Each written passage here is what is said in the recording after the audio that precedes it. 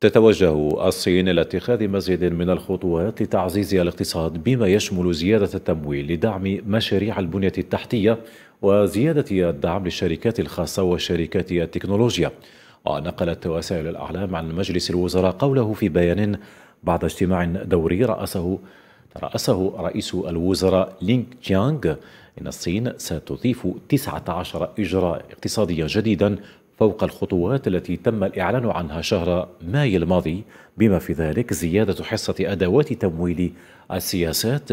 بمقدار 300 مليار يوان أي ما يناهز